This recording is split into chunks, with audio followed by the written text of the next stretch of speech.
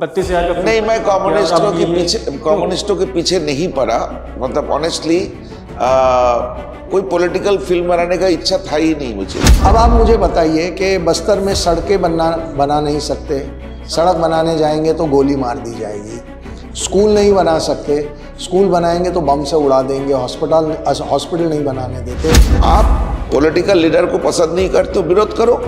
Political party को पसंद नहीं करते तो विरोध करो। लेकिन वो विरोध जब देश के खिलाफ हो जाता है ना, लेकिन कश्मीर तीन दशकों तक हमारे टीवी, हमारे मीडिया का हर ऑल्टरनेट डे कोई ना कोई कश्मीर की डिबेट पे चलता था इंटरनेशनली कश्मीर डिबेट होता था। लेकिन यहाँ पचास हज़ार से ज़्यादा लोग मर गए, आपको पता ही नहीं। कि मैं लास्ट में एंड तक सोचती रही, आज मैं आखिरी दिन के शूट पर, यहाँ से निकलते समय अपने साथ वो स्ट्रेंथ लेकर जा रही हूँ, जो उस औरत ने जी है, जो उसने फेस किया है।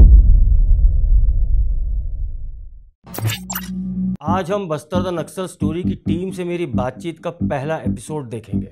इस फ़र्स्ट पार्ट में आप सब डायरेक्टर सुदीप्तो सेन प्रोड्यूसर विपुल शाह और फ़िल्म की एक्ट्रेस को सुनेंगे। मुझे पता है, सभी चैनल्स पर Adah Sharma as an actress team के साथ गई हैं। वेल अधा शर्मा के साथ का पॉडकास्ट सोलो पॉडकास्ट है, जो कि सेकंड पार्ट में आएगा। इस पॉडकास्ट की खास बात यह है कि जिस एक्ट्रेस को भारतवर्ष आपके सामने लाया है, उनके विचार जानना आप सभी के लिए बहुत ज़रूरी है। क्योंकि इन्होंने जिस रोल को निभाया है, उस रोल को आप जब मूवी में देखेंगे, तब आप समझ जाएँगे कि क्यों इनका वाला पॉडकास्ट मैंने पहले लाया। इस वीडियो में आपको सुदीप्तो सेन के कम्युनिस्टों के बारे में जो विचार हैं, वो सुनने को मिलेंगे। इस फ़िल्म के प्रोड्यूसर और क्रिएटिव डायरेक्टर विपुल अमृतलाल शाह को कितनी मुसीबतें झेलनी पड़ी, उस बारे में बात होगी। और इस बारे में भी कि इंडस्ट्री में उनके दोस्त बचे भी हैं कि नहीं। कैसे ये फ़िल्म सेंसर बोर्ड से पास हुई? उसकी भी कहानी है। And last but not least actress Indira Tiwari के विचार कि कैसे उन्होंने उस महिला का किरदार निभाया, जिसके पति के 36 टुकड़े उसके सामने ही नक्सलियों ने कर डाले थे। लेट्स रोल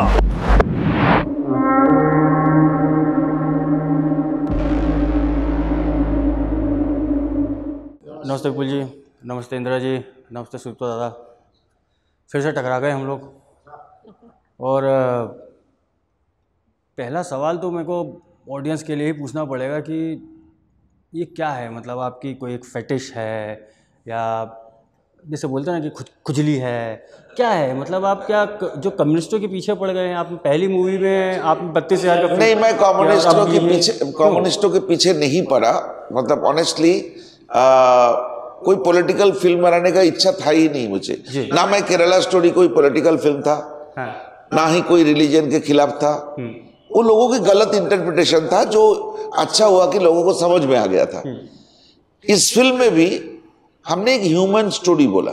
एक औरत की हस्बैंड को अगर टुकड़ों में काट दिया जाता है जस्ट इस देश की तिरंगा फैलाने फहराने के लिए और और इस देश की जवानों को अगर आग लगा के मार दिया जाता है तो मुझे लगता है इससे बड़ा ह्यूमन ट्रेजिडी और कुछ नहीं हो सकता। तो ह्यूमन ट्रेजिडी जब हमने डॉक्यूमेंट करने गए पिछले कई सालों से कर रहे थे तो पता चला कुछ आइडियोलॉजी का नाम लिया जा रहा है जिस आइडियोलॉजी के नाम से ये काम हो रहा है।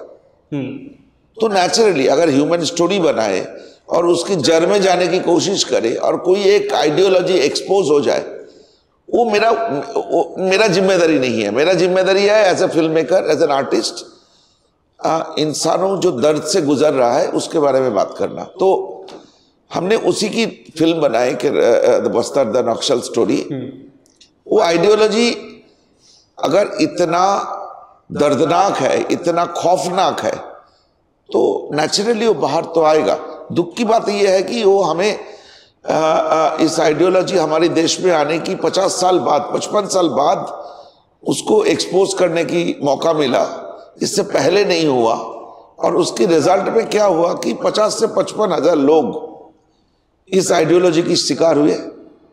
करीबन तीन trillion US dollar worth of Indian economy loss हुई। मतलब आप समझ सकते हैं, हमारी देश की जो 75 साल इंडिपेंडेंस की हुई है वो आज जाके एक डेवलपमेंट की एक सही रास्ता पकड़ने की कोशिश कर रहा है। ये बहुत पहले हो जाना चाहिए था।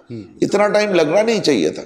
सेकेंड वर्ल्ड वॉर के बाद जापान को कितना टाइम लगा अपने आप को संभाल के दुनिया की अव्वल नंबर में पहुँचने के लिए? हमारे देश भी पहुँच सकता था।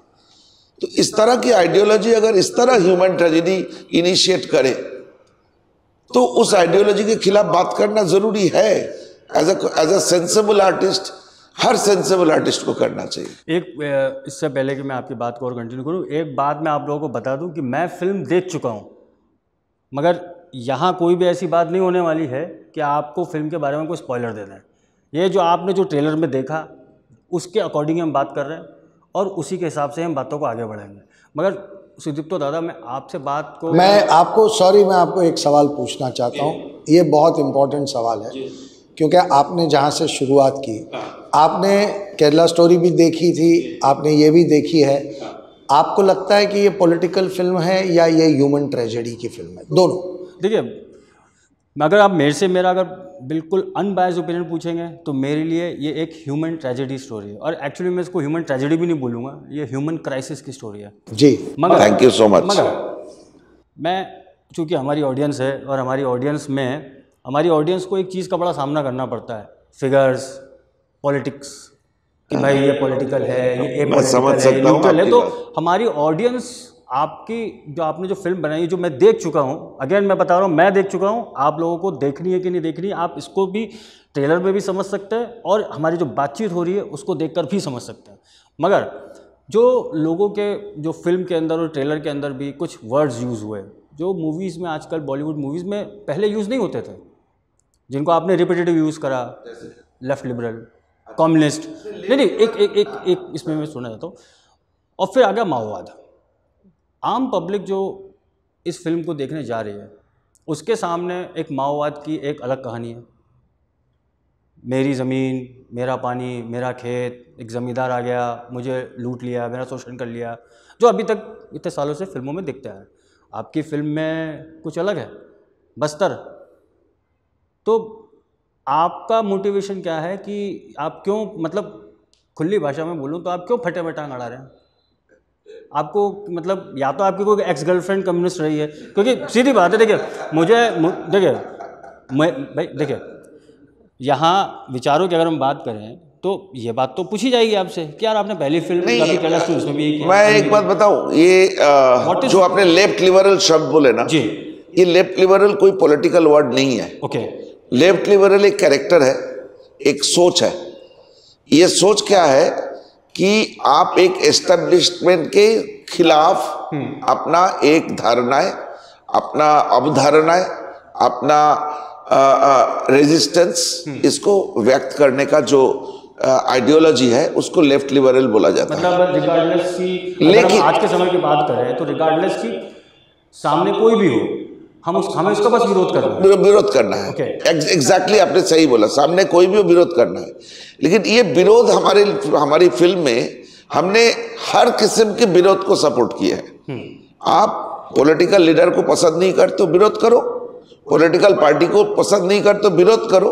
लेकिन वो विरोध जब देश के खिलाफ हो जाता है ना यहाँ पे कोई बैरियर तो है नहीं। जब वो विरोध देश के खिलाफ हो जाता है तब हमारी प्रॉब्लम है। मेरा प्रॉब्लम है, विपुल जी की प्रॉब्लम है। विपुल जी, आपकी प्रॉब्लम तो मतलब मुझे ऐसा लग रहा है कि केरला स्टोरी से जो शुरू हुई है, और मेरे को तो इनफैक्ट ये सवाल भी पूछना है आपसे, जो मैंने पिछली बार ही पूछा था, मगर मैं इस बार थोड़ा घुमा के पूछ लेता हूँ कि चलो ठीक है, पहली बार आपने रिस्क लेके इतने बोल्ड सब्जेक्ट पे एक फ़िल्म बनाई, काफ़ी कंट्रोवर्सीज हुई, काफ़ी लोगों ने काफ़ी बातें बोली, मगर जो जवाब था वो ऑडियंस ने दिया। मगर ये फ़िल्म जब आपके पास दोबारा से, क्योंकि होता है ना कि आप एक सीरियस एक फ़िल्म बनाते हैं और उसके बाद दोबारा एक सीरियस फ़िल्म आप बना रहे हैं तो आपको ये दोनों कहानियाँ, खासकर ये कहानी, जिसको मैं, मैंने, अगेन, मैंने देखा है, बट जो ट्रेलर में जो दिखा है, उसी से लोग शौक में हैं। और आपके पास जब ये कहानी आई और जो टाइटल्स में भी देख रहा हूँ कि आप, क्योंकि आप डायरेक्टर आप भी हैं और आपका भी उसमें क्रिएटिव इनपुट जो टाइटल्स में मुझे दिखा है तो ये सवाल मेरे को आपसे भी पूछना पड़ेगा कि क्या मोटिवेशन है आपका आपके पीछे आपका पास कि आपने क्यों ही सब्जेक्ट पुटअप करा? मोटिवेशन बहुत सिंपल था हाँ। बहुत सिंपल इमोशनल मोटिवेशन था।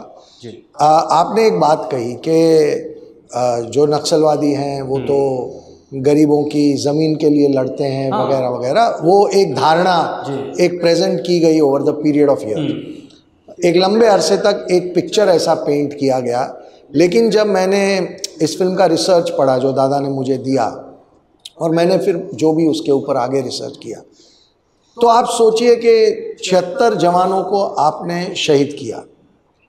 ठीक है? जेएनयू में उसका सेलिब्रेशन हुआ। अब आप मुझे बताइए कि बस्तर में सड़कें बना बना नहीं सकते, सड़क बनाने जाएँगे तो गोली मार दी जाएगी। स्कूल नहीं बना सकते। स्कूल बनाएँगे तो बम से उड़ा देंगे हॉस्पिटल हॉस्पिटल नहीं बनाने देते मोबाइल का टावर नहीं लग सकता पीने के पानी की पाइपलाइन नहीं बिछा सकते। तो ये कौन सा डेवलपमेंट है और ये आप कौन से लोगों का विकास कर रहे हैं और इसमें विकास कहाँ से आता है? अगर किसी को लगता है कि हमने एक पॉलिटिकल फ़िल्म बनाई है तो हमारा इनमें से किसी भी तथ्य पे विरोध करें। हमें बताएँ कि नहीं आप झूठ बोल रहे हो बस्तर के अंदर तो दिल्ली से भी बेहतर सड़कें बनी हुई हैं, बताइए। और इंटरनेशनल लेवल की स्कूल्स हैं, बताइए। तो नहीं जवाब मिलेगा, क्योंकि वो जानते हैं कि उन्होंने एक स्ट्रैटेजी बना के, एक एक देश को तोड़ने का काम कर रहे हैं। और ये शहरों में बैठे लेफ़्ट लिबरल मैं नाम, मैं यूज़ कर रहा हूँ वो टर्म लेफ़्ट लिबरल्स इनको पूरा एक कवर फायर दे रहे हैं और ये इस तरीके का एक नैरेटिव बना रहे हैं। और मुझे ताज्जुब है कि इतने सालों में इस नरेटिव को आज तक किसी ने एक्सपोज नहीं किया। आप एक सिंपल आंकड़ा सोचिए देखिए और बताइए। एनएचआरसी की रिपोर्ट है। For for information national human right human right commission उसकी रिपोर्ट है कि पचास हज़ार से ज़्यादा लोग बस्तर छत माओवाद की हिंसा में मरे हैं इस देश में पिछले पचपन सालों में। कश्मीर का उन्नीस सौ बावन से लेके आज तक का आंकड़ा है 47 सैतालीस हज़ार। लेकिन कश्मीर तीन दशकों तक हमारे टीवी हमारे मीडिया का हर ऑल्टरनेट डे कोई ना कोई कश्मीर की डिबेट पे चलता था इंटरनेशनली कश्मीर डिबेट होता था। लेकिन यहाँ पचास हज़ार से ज़्यादा लोग मर गए आपको पता ही नहीं है। तो ये जो एक नैरेटिव क्रिएट किया गया कि ये नक्सलवादी और ये लेफ़्ट लिबरल्स मिल के देश को बहुत साइलेंटली तोड़ रहे हैं लेकिन कोई उसके बारे में बात नहीं करेगा। ये जब सब मैंने देखा अब आप सोचिए कि भारत का झंडा वहाँ आप नहीं फहरा सकते। हमारी फ़िल्म में आपने एक स्लाइड भी पढ़ी होगी कि पिछले साल 15 अगस्त पे 19 गाँवों में भारत का झंडा फहराया गया। लेकिन साढ़े तीन हज़ार गाँव में आज भी नहीं फहरा रहे हैं। ये कैसे एक्सेप्टेबल है? ये किसको एक्सेप्टेबल है? कौन सी विचारधारा इस बात से राज़ी है कि भारत का झंडा फहराना जुर्म है? हर माँ को ये बोला जाता है कि आपका एक बच्चा आपको नक्सलियों को देना पड़ेगा, नहीं तो पूरे फैमिली को मार दिया जाएगा। ये कौन सा विकास है? ये कैसे आप लोगों के सपोर्टर हो? तो ये सब जब मैंने देखा तो फिर मेरे अंदर से वो एक आवाज़ फिर निकली जो केरला स्टोरी के टाइम निकली थी कि अगर ये फ़िल्म मैंने नहीं बनाई तो मैं अपने आप को कभी माफ़ नहीं कर पाऊँगा। और वो इमोशन लेके हमने मिलके इस फ़िल्म को बनाया और बहुत मेहनत की और बहुत बोल्ड और बहुत फियरलेस फ़िल्म है। इतना तो आप मेरे साथ अग्री करेंगे। फुल्ली लोडेड फ़िल्म है। करेक्ट तो हमने एक बहुत ही बोल्ड और फियरलेस फ़िल्म बनाई क्योंकि हम जानते थे कि ये विषय बहुत मुश्किल है। लोगों को आ, हिम्मत चाहिए इस विषय को कहने की। और वो हिम्मत हमने जुटाई है बिकॉज़ हमारा एक ही कन्विक्शन है कि जो हमारे देश के अगेंस्ट हैं, हम उसके अगेंस्ट हैं। इंदिरा जी,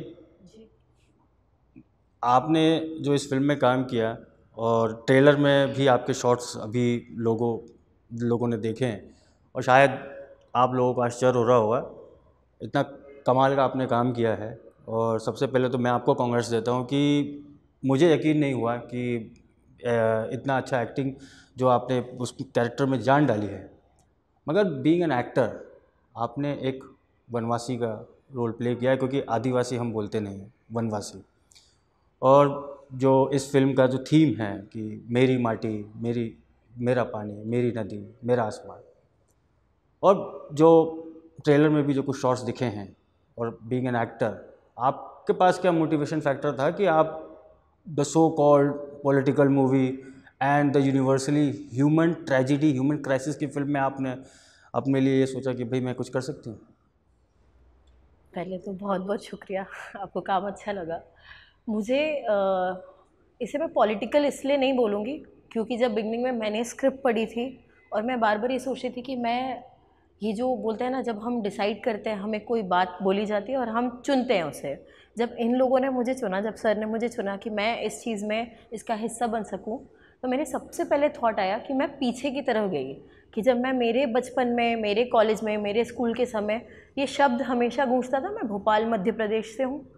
तो मैं वहाँ पे हमारे यहाँ 26 जनवरी हो 15 अगस्त हो जितने भी सेलिब्रेशंस होते हैं उसमें हमें सारे कलाकारों को एक साथ लाया जाता है और वहाँ फेस्टिवल्स होते हैं। तो छोटे छोटे फेस्टिवल्स में हमको सबसे मिला मिलाते हैं जैसे कल्चरल एक्सचेंज होता है उस तरीके से। तो बस्तर से हमेशा मेरे बस्तर के मेमोरी में यही था कि वहाँ का मेटल आर्ट वहाँ की पेंटिंग्स वहाँ के फोक आर्ट वहाँ के आर्टिस्ट आते हैं। और हम लोग इंदिरा गांधी राष्ट्रीय मानव संग्रहालय में उन सबके साथ मिलते थे। और और इवन इनफैक्ट आप उस जनरेशन से हैं मेरी वाली जनरेशन से जिसने मध्य प्रदेश यूनाइटेड मध्य प्रदेश देखा है जब छत्तीसगढ़ नहीं बना था। जी तो फिर मैं उस समय जब मैं जब चीज़ों को मतलब इतना समय मैं पहले बचपन में जबलपुर में रही हूँ मेरी नानी के पास लेकिन जब से मैं भोपाल में रही हूँ मैंने मोस्टली आर्ट और आर्टिस्टों के बीच में मैं भारद्वान जैसी जगह पे पली बड़ी हूँ। तो मुझे ना हमेशा लगता था इतनी अच्छी अच्छी चीज़ें हमें बताई जा रही है पर जब मैं पूछ रही हूँ कभी बस्तर जाएँगे? तब हमेशा यार आप नहीं जा सकते। तो मुझे लगता था क्यों नहीं जा सकते? तो नहीं आपको ढूंढना पड़ेगा कोई आपको चाहिए जो आपको वहाँ ले जा सके आप ऐसे ही नहीं जा सकते। तो हमेशा जब होता था ना कि यार ये जगह नहीं जा सकते बाकी सब जगह जा सकते ऐसा क्यों? अगर वन विहार है तो वहाँ गार्ड्स हैं वहाँ पुलिस है वहाँ गवर्नमेंट है जिन्होंने सब कुछ तैयार किया जहाँ हम जा सकते हैं जानवर को देख सकते हैं लोगों से मिल सकते हैं। बट ये एक ऐसी जगह है जहाँ पे जाना मुमकिन नहीं हो पा रहा है। तो ये पॉइंट के बाद फिर हम हमारी ज़िंदगी में लग गए हम चीज़ों में लग गए। लेकिन जब ये स्क्रिप्ट आई ना तो मैं पीछे के पीछे जाती जा रही थी और मुझे सडनली लगा कि क्या ये रीज़न है कि हमेशा वहाँ की अच्छी अच्छी चीज़ें हमारे पास आती थी और कभी वहाँ की तकलीफ़ें हम तक नहीं पहुँच पाई। क्योंकि अगर हर घर से एक बच्चा उनको दिया है तो कोई अपनी तकलीफ़ें लेकर किसके पास जाएगा? कोई यहाँ पे आके आर्ट तो शेयर करेगा बट एक भी one on one person to person को ये नहीं बता रहा है कि हम बहुत तकलीफ़ में हमको मदद चाहिए। ये मदद वाली बात तो कहीं पहुँच ही नहीं पा रही है। ये स्क्रिप्ट में जितनी चीज़ें मैंने पढ़ी जो रिसर्च इन लोगों ने किया था इतने लंबे समय जाकर, वहाँ पर रहकर, वहाँ की चीज़ों को समझ कर मतलब मैंने भी बहुत लोगों से जिनसे मैंने बात किया जो हमको सपोर्ट कर रहे थे उस समय, मैंने उनसे प्रश्न किया कि आपके लिए ग्रोथ क्या है? आपकी फैमिली से ये सब चीज़ें आप झेल कर निकल रहे हैं। आपको क्या लगता है? उन्होंने मुझे एक ही चीज़ बोला, नहीं, हम हमारे परिवार के साथ रहते हैं। अगर हमें एक हमारे बच्चा बड़ा होगा ना, उसे एक छोटी नौकरी मिल जाएगी, काफ़ी है। तो अगर उनकी लाइफ में एक आम ज़िंदगी जीने के लिए इतना प्रॉब्लम हो रहा है कि वो लोग एक छोटी सी चीज़ को ही इतना बड़ा मान लेते तो मेरे को, मुझे ऐसा लग रहा था हम लोग क्या कर रहे हैं ना? हम लोग तो हर दिन ग्रोथ की बात करते हैं। हमें आज five G four G six G हम कहाँ कहाँ कहाँ कहाँ पहुँच गए पर जहाँ पे वो पहली शुरुआत ही नहीं हो पा रही है तो ये कितना डिफ़िकल्ट है। तब मुझे ऐसा फील हुआ कि नहीं यार, ये सब मुझे नहीं मालूम था। मेरी ज़िंदगी में मैंने अच्छा अच्छा देखा था। पर मुझे इतनी तकलीफ़ें हो रही नहीं है पता थी। तो जब मैंने इस सब्जेक्ट को चुना, मुझे लगा ये चीज़ किसी साइड की बात नहीं करती है। जब ये फ़िल्म मैंने पढ़ी थी और मुझे अंदर से लगा, नहीं यार, ये बात गलत है, ये बात सही है। As public as an artist मुझे तकलीफ़ हो रही है पढ़कर, सुनकर, हम कैसे एग्जीक्यूट करेंगे, मुझे मालूम नहीं। बट इस चीज़ का हिस्सा बनना है, क्योंकि जब ये बात आगे तक जाएगी तो कोई ना कोई एक रत्ना फिर वहाँ से निकलेगी। कोई ना कोई एक व्यक्ति वहाँ से निकलेगा जो बोलेगा, ये बात गलत है और हम इस बात का विरोध करते हैं। बिना ये जाने कि मतलब कौन किस जगह से है ना मतलब ह्यूमैनिटी की बात कर रहे हैं। अगर आप तकलीफ़ में हो तो मेरा पूरा सहयोग आपकी तरफ़ है कि आपकी तकलीफ़ क्या है और अगर मैं उसे सही कर सकती हूँ, आपकी कुछ मदद कर सकती हूँ तो मैं वो करूँगी। तो जो सोसाइटी में एज एन आर्टिस्ट मेरा दायित्व बनता है, मुझे ऐसा अंदर से फील हुआ कि मेरा जो इंस्टिंक्ट है, उसने बोला कि मुझे करना चाहिए और मैंने रत्ना को जितना जिया है, मैं एज एन इंदिरा बहुत स्ट्रेंथ मुझे मिली है मेरी लाइफ में। सो सर दादा जो कंडीशन इनकी है यही कंडीशन आम पब्लिक की है बस्तर विषय के बारे में। और शायद यही सबसे बड़ी ट्रेजिडी है कि कि हम कश्मीर के बारे में तो फिर भी एक भले ही जो नरेटिव चला आ रहा था वो बाद में ध्वस्त हुआ मगर कुछ तो चल रहा था। यहाँ वो नैरेटिव चल रहा था कि it was a narrative silence absolutely तो उल्टा नैरेटिव था। नैरेटिव हाँ, ये था कि लोगों पे अत्याचार हो रहा है और नक्सली बचा रहे हैं। नैरेटिव उल्टा चल रहा था। तो आपको तो रिसर्च में बड़ी तकलीफ़ आई होगी। नहीं एक्चुअली क्या हुआ कि आ, इस आइडियोलॉजी की जहाँ से जन्म हुआ था हाँ। माओवाद वो मेरी मेरा जो जन्म स्थान है वहाँ से 40-45 किलोमीटर दूर है। तभी। और तभी। मेरी फैमिली में तभी। मतलब वो कनेक्शन मैं ढूंढ रहा था मैं ex-girlfriend कनेक्शन। कनेक्शन आपको और देता हूँ बड़ी इंटरेस्टिंग कनेक्शन दे रहा हूँ। मेरी सागा दीदी मेरे जो सबसे बड़ी दीदी है वो इस मूवमेंट के हिस्सा थे। और मेरी जीजाजी थे इस मूवमेंट पे मेरे भाई थे। कौन से जो नक्सलवाड़ी मूवमेंट जो था माओइस्ट मूवमेंट जो था। उस समय पे चार सबसे बड़े लीडर थे चारू मजुमदार कानू सन्नाल सोरेन बोस जंगल सावतल। ये चारों उस समय पे हमारे लिए हमारी बंगाल में बंगाल बिहार उड़ीसा में डेमी गॉड जैसे थे, भगवान जैसे माना जाता था। लगता था कि माशिया स्वयं काल मार्क्स आ गए धरित्री में, ऐसा फीलिंग होता था। तो मेरी फैमिली इसमें बहुत ज़्यादा इम्पैक्टेड था। मैं एक दो इंसिडेंट्स बोलूँ। मेरी एक दीदी की जब जेल में उसको अरेस्ट हुआ और जेल में गए इमरजेंसी के टाइम पे, उसकी एक एक नखून निकाल दिया गया था, प्लायर से पकड़ पकड़ के। एक एक हड्डियाँ तुरे गए थे। वो जब जेल से छुटकारा मिला 1977 में जब इमरजेंसी ख़त्म हो गया, सबसे पहले जब वेस्ट बंगाल में लेफ़्ट फ्रंट गवर्नमेंट आए, दिल्ली में जनता दल की गवर्नमेंट आए, सबसे पहले पॉलिटिकल प्रिजनर को छोड़ने का प्लान किया गया। गवर्नमेंट स्वर्णिन होने के इमीडिएट नेक्स्ट डे जो फीमेल वो था प्रिजनर्स थे, उनको छोड़ दिया गया। तो मुझे याद है, मेरी दीदी मुझे बोले थे कि मैं सबसे छोटा था घर की तो वो मेरे से सत्रह साल बड़ी थी। तो बोला था कि घर, जेल से बाहर आके मुझे मेरे भाई को देखना है। तो जब बाहर आया आज भी मुझे उसका शक्ल याद है, एक आँख, दोनों आँख इतना सुजे हुए थे, दिख नहीं पा रहे थे वो। एक झलक था उसकी आँख मतलब हल्का सा। उसके बाद दो साल उसको हॉस्पिटल रह के ट्रीटमेंट करना पड़ा। ऐसे बहुत सारे घटना से अंदर से मैंने बड़ा हुआ। लेकिन आपके क्या ये विरोधाभास नहीं हो गया कि आपकी फैमिली में सब नक्सली मूवमेंट को सपोर्ट कर रहे थे और इतना झेला और फिर आप टोटली ऑपोजिट वही तो मैं आ रहा हूँ उसके बाद। उसके बाद मैं जब कोलकाता आया हायर स्टडीज़ के लिए अ, उस समय पे प्रेसिडेंसी कॉलेज हुआ करता था बहुत। दुनिया भर में प्रेसिडेंसी कॉलेज का नाम इतना मशहूर था। कुछ दिन पहले प्रेसिडेंसी कॉलेज को यूनिवर्सिटी की दरवाज़ा दिया गया। प्रेसिडेंसी कॉलेज एक एक एक अ, अ, मंदिर की तरह माना जाता था। बाहर से जब लोग आते थे लोग प्रेसिडेंसी कॉलेज देखने जाते थे। सुभाष चंद्र बोस वहाँ पे पढ़ाई किए। तो प्रेसिडेंसी कॉलेज की बाहर एक बरगद की पेड़ है। तो एक दिन सुबह वहाँ से आठ डेड बॉडी टांगे हुए थे।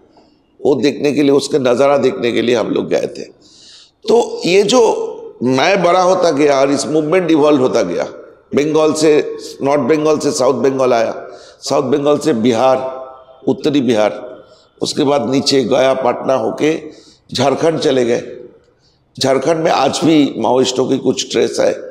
उसके बाद और साउथ में चले गए उड़ीसा कालाहांडी कोरापुट बोलांगीर सुंदरगढ़ मालकानगिरी ये सब पहाड़ी ट्राइबल एरिया में फैल गए और साउथ गया पालघर गढ़चिरौली महाराष्ट्र की और साउथ जाते गए खमाम जो आंध्रा तेलंगाना की एरिया है केरला तक एक उसको माओवादियों की लाल गलियारा बोला जाता है तो मैं इस मूवमेंट को बहुत नज़दीक से देखा। बहुत नज़दीक से देखा कि ये मूवमेंट ये कितना खतरनाक, कितना निशंस हो सकता है कितना वायलेंट हो सकता। है आपको अंदाज़ा नहीं कि आपको इमोशनली ब्लैकमेल करने, गरीबों को इमोशनली ब्लैकमेल करने के लिए इनके पास इतने सारे औज़ार है ना, आपको ज़िंदगी भर के लिए, आपको उनकी स्लेवरी करने के लिए उनके पास हर चीज़ मौजूद होता था। तो ये सारी जो चीज़ें मैंने, ये टोटल इवोल्यूशनरी प्रोसेस को देखा। और दुख की बात यह था कि कुछ कुछ सरकार आए हमारे देश में उस समय पे, सिक्सटीज में, सेवेंटीज में, एट्टीज में, जो इनको मदद करते थे। मदद इसलिए करता था, ये जो एरिया उन लोगों ने अपने लिए चुना था ना, जो रेड कॉरिडोर है, वो इंडिया की सबसे ज़्यादा मिनरल रिच एरिया है। मतलब मैं आपको एक बात मज़ेदार बात बताऊँ इंडिया की सबसे बड़े जो आयरन कन्वेन करने के लिए जो पोर्ट है ना विशाखापत्तनम पोर्ट वहाँ पे एक रेलवे लाइन बिछाया गया था कि, कोरापुट किरणडुलू लूप जो बायला डिला जो अभी बस्तर के अंदर है बायला डिला से आयरन और लेके विशाखापत्तनम में डिलीवरी करेगा वो जापान चला जाएगा। ओके। जापान जाएगा जापान से वो आयरन प्रोसेस होके इंडिया में आएगा। आप मतलब विडम्बना सोचिए हमारी देश की। हमारी देश की आयरन और जापान जाएगा जापान से प्रोसेस होकर हमारे देश में हमारे देश को बढ़ाने के लिए आएगा।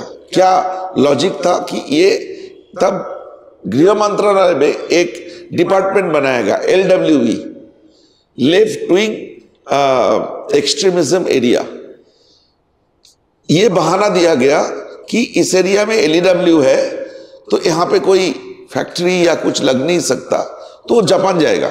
मतलब बाहर जाए मतलब का दस रुपया का सामान दस रुपया का सामान बीस रुपया ना जाए। हाँ नहीं जाए। दिल्ली नहीं तो उसको ज़िंदा रखने के लिए इस मूवमेंट को ज़िंदा रखने के लिए एक अद्भुत 360 डिग्री एक प्लान था। और उस जंगल के अंदर करीबन दो से ढाई हज़ार करोड़ का एक पैरेलल इकोनॉमी क्रिएट किया गया था। हर साल तेंदुपत्ता हर साल इन लोगों को फ़ीड किया जाएगा जो इस सिस्टम को ज़िंदा रखेगा। जिनमें प्रेस है इवन हमारी फ़िल्म इंडस्ट्री है मीडिया है जो जो इन सोशल इन्फ्लुएंसर्स है अलग अलग लेवल पे। वो सिनेमा में है न्यूज़पेपर में है टीवी में है सबको उनके पास ले भी पहुँचता था। और मैं आपको यकीन के साथ कह सकता हूँ न्यूयॉर्क टाइम्स जैसे न्यूज़ न्यूज़पेपर के पास भी पहुँचता था यह पैसा। इंडिया में दिल्ली यूनिवर्सिटी में एक प्रोफेसर है जिन्होंने सुप्रीम कोर्ट में पिटीशन डाला था। ये आ, जब छत्तीसगढ़ गवर्नमेंट एसपीओ लेके आए थे जब सलवा जुदुम शुरू हुआ था नाइनटीन टू थाउज़ेंड फाइव में एक पिटीशन डाला था। हाँ। सलवा जुदुम बहुत मशहूर एक कोर्ट केस था। उस केस में वहाँ पे जो केस डाला गया उस केस एक इंडिविजुअल की केस था। एक इंडिविजुअल की केस था। लेकिन आपको सोच के तजुब होगा इस देश की सबसे बड़े लॉयर उस केस के लिए पिटिशनर की तरफ़ से बात करने आते थे। एक दिल्ली यूनिवर्सिटी प्रोफेसर की सपोर्ट में एक एक लॉयर जो 10 लाख 15 लाख रुपया एक एक अपियरेंस में आता है, कहाँ से ये आ जाता है? एक प्रोफेसर को अरेस्ट किया गया। कोई एक छत्तीसगढ़ में एक मर्डर केस की कंप्लेन एक केस डाला गया था एक दोरनापाल पुलिस स्टेशन में। दिल्ली पुलिस जब उसको अरेस्ट करते हैं, एक घंटा में 21 देशों की यह मेरी कहानी नहीं है गूगल करिए देख पाएँगे। 21 देशों की हेड ऑफ़ द स्टेट मेरी, हमारी प्राइम प्रेसिडेंट के पास चिट्ठी लिखते हैं कि इस देश की ह्यूमन राइट खतरे में है।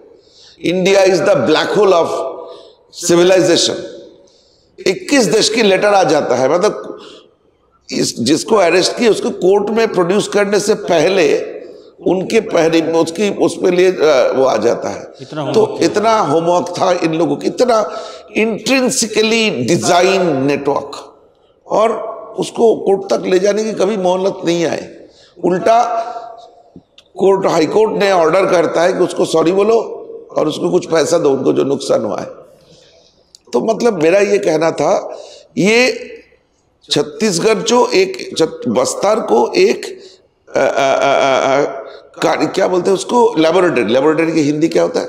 प्रयोगशाला। एक एक प्रयोगशाला बनाया गया था जहाँ पे इस देश की इंडिया को तोड़ने इंडिया को तोड़ना बड़ा आसान था क्योंकि एक नैरेटिव उस समय से चलता था कि इंडिया कभी देश था ही नहीं।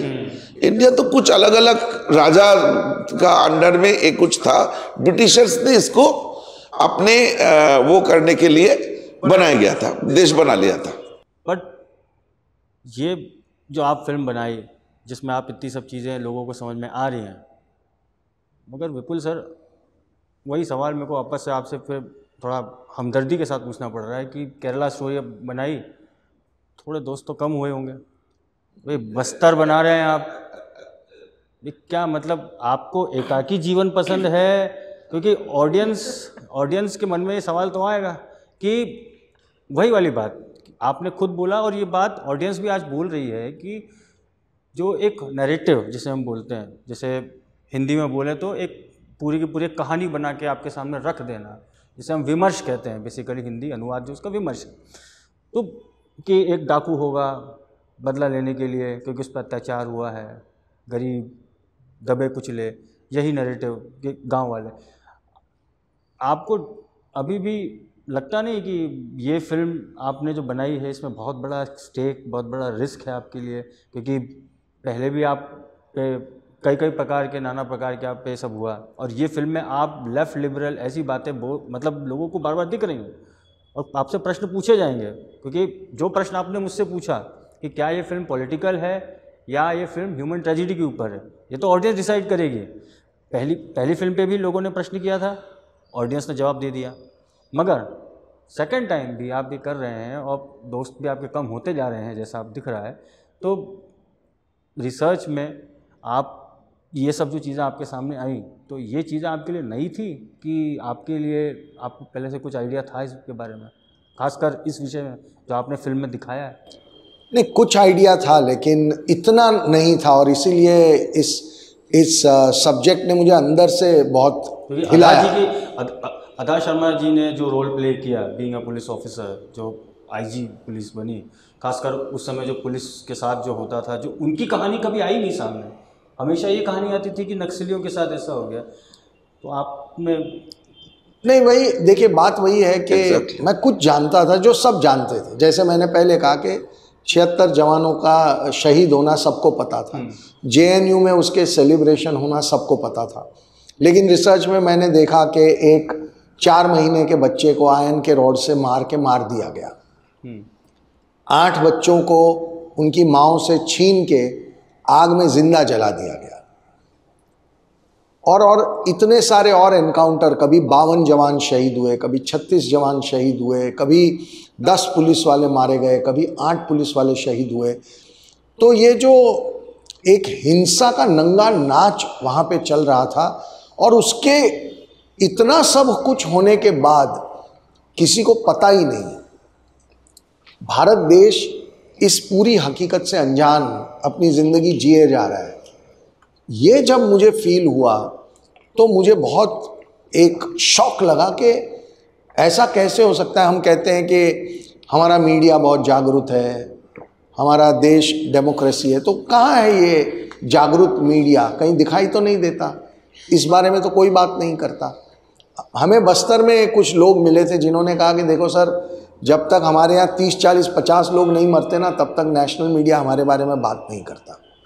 ये उनकी दुविधा थी। वो कह रहे थे कि छः आठ दस लोगों की मौत पे तो फ़र्क ही नहीं पड़ता।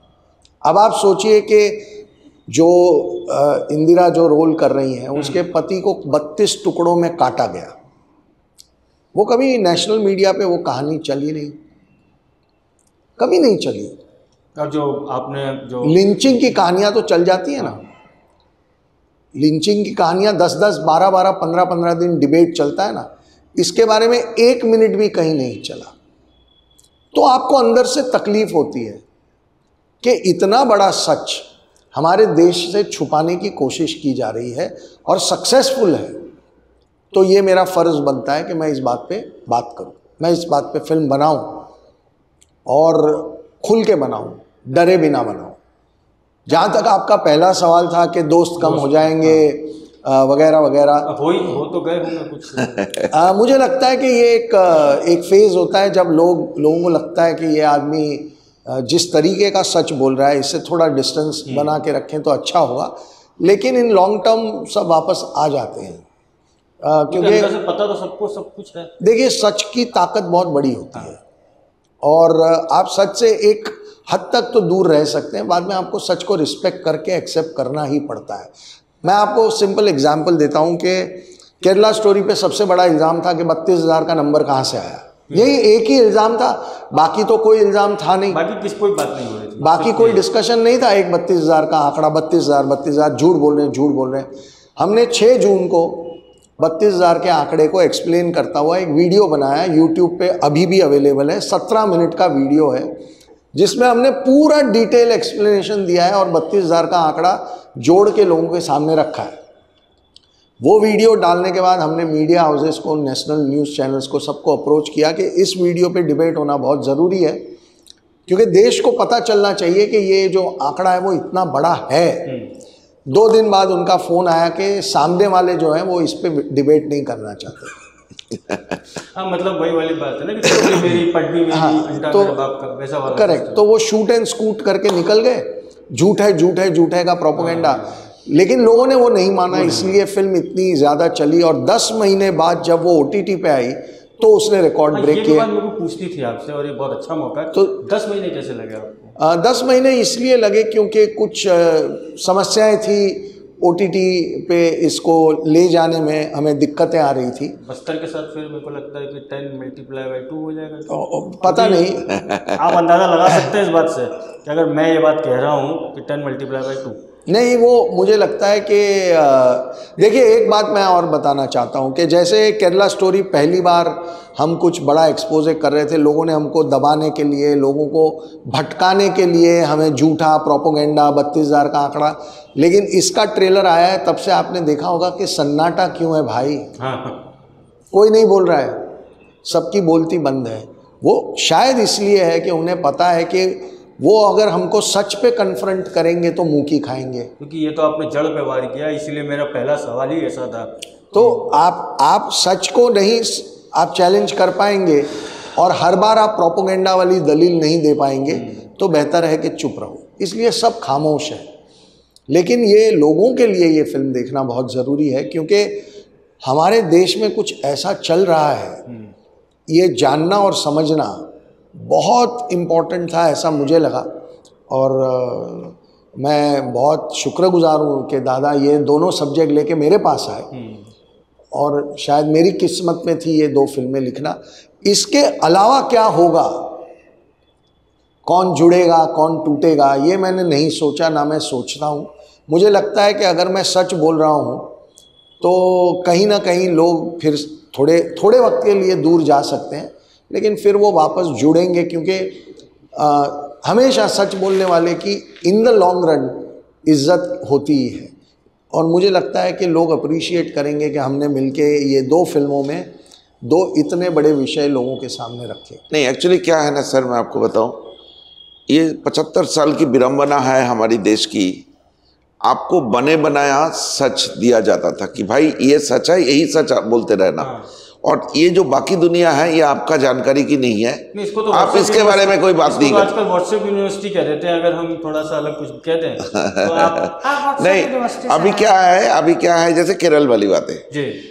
मैं आपको अब मतलब अगर अगर हमारी कामकाज ठीक ठाक चलते रहे और सोचते रहे तो हम शायद केरला की और स्टोरी भी लेके आएँगे। आ, ये conversion I mean manipulative conversion की जो हिस्ट्री है ना हमें अभी नया नया सारे इन्फॉर्मेशन मिल रहा है क्योंकि लोगों के अंदर अभी एक ताकत पहुँचा है कि केरला स्टोरी ने जिस तरह की सच को उजागर किया है अब शायद वो सारे घटनाएँ हमारे सामने आ रहा है।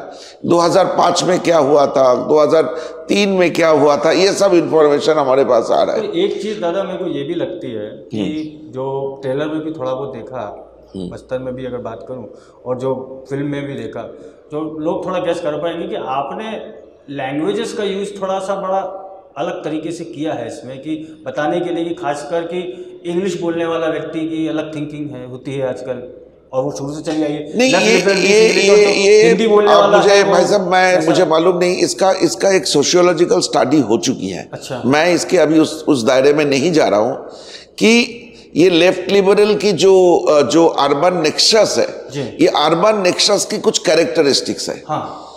आपको फराटेदार इंग्लिश बोलना बहुत ज़रूरी है। आपको रेफरेंसेस में चाइना रशिया उज्बेकिस्तान जहाँ जहाँ पे Cambodia uh, North North Korea Cuba.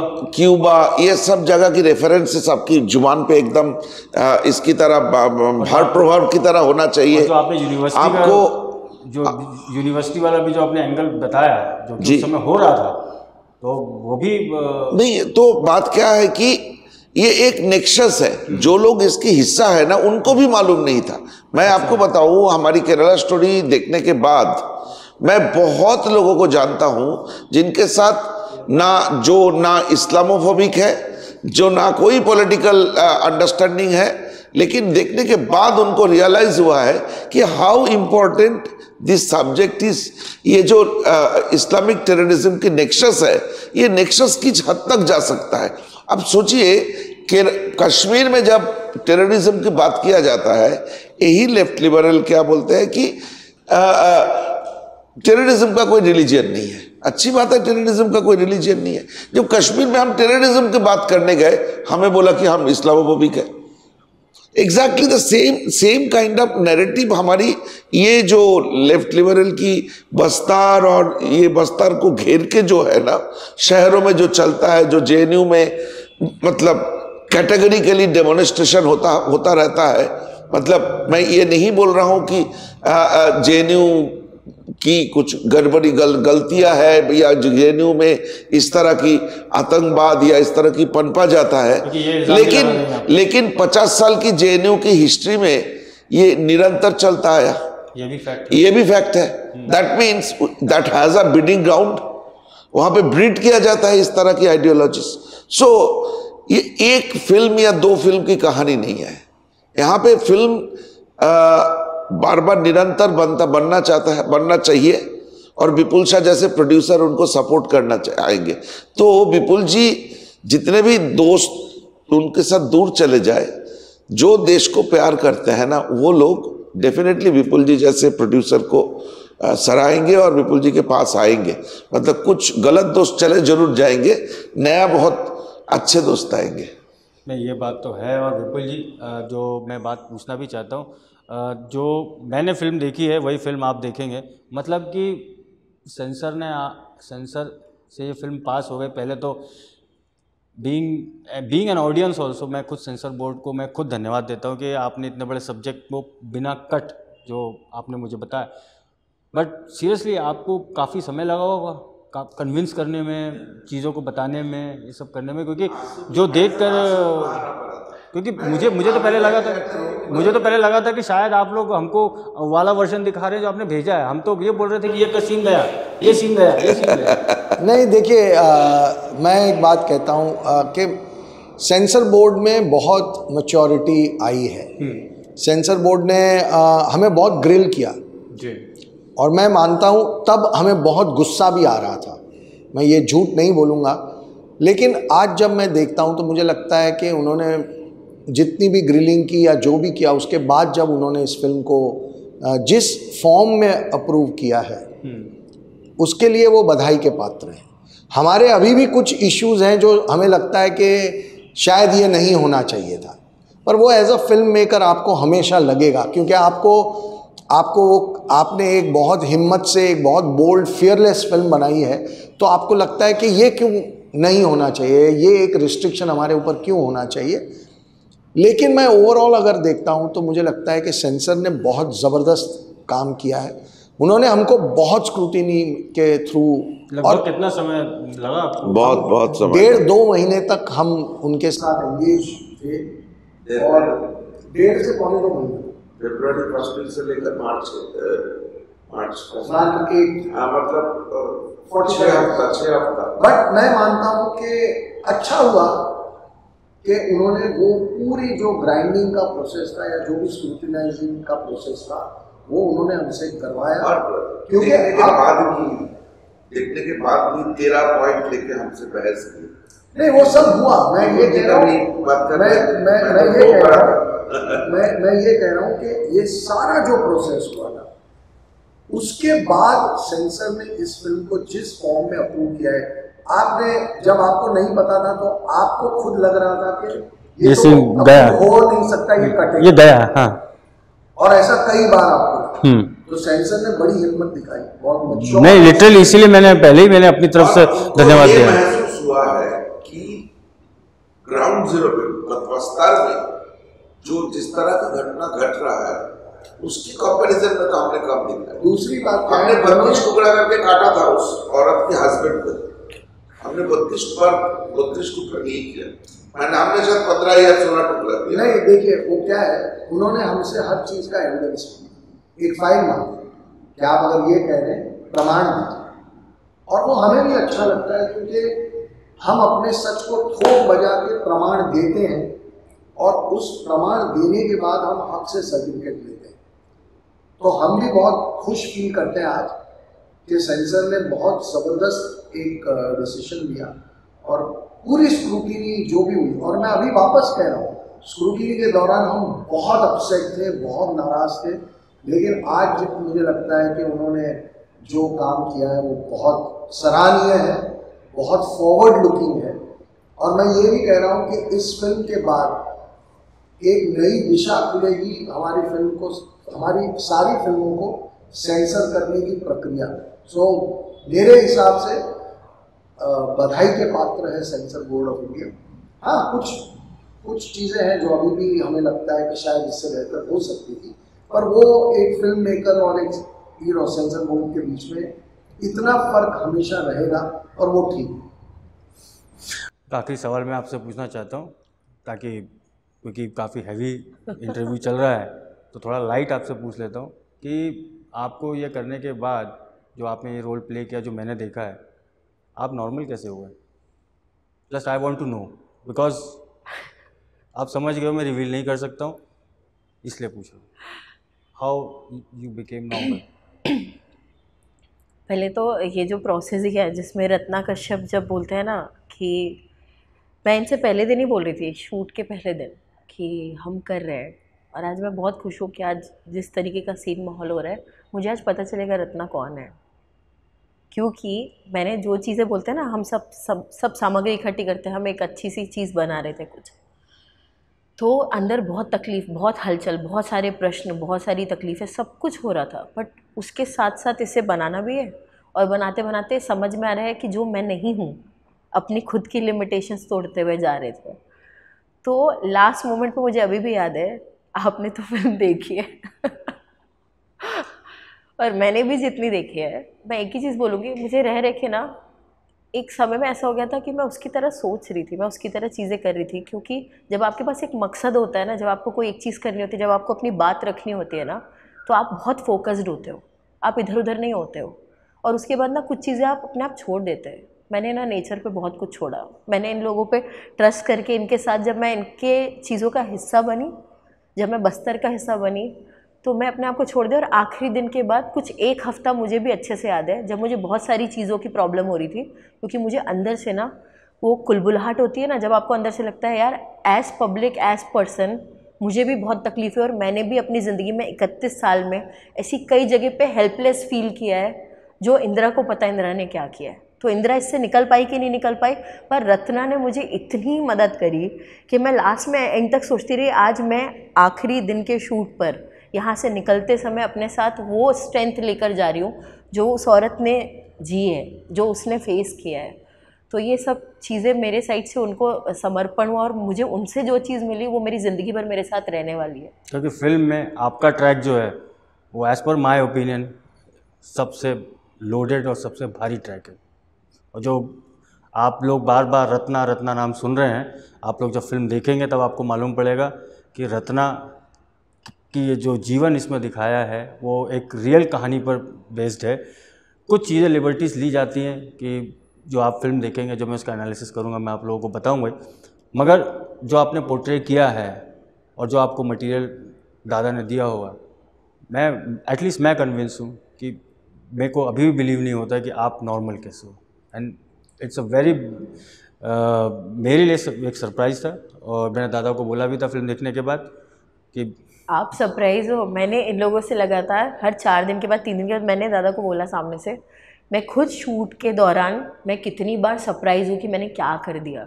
अगर मैं वो फील कर पा रही हूँ ऐसे तो जो रियल तो, रियलिटी मतलब जो आप कह रहे थे दादा कि जो एक जिस प्रकार का जो एक जैसे लाल आतंक कहा जाता था जिसके बारे में एक नैरेटिव बना दिया जाता था कि ये तो असली ज़मीन की लड़ाई लड़ रहे हैं।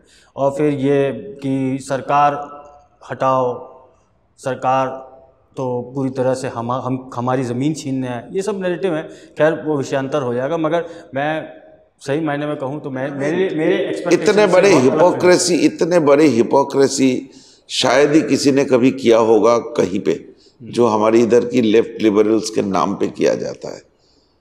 तो इसलिए अ, मुझे कोई वो नहीं है मतलब हेजिटेशन नहीं है।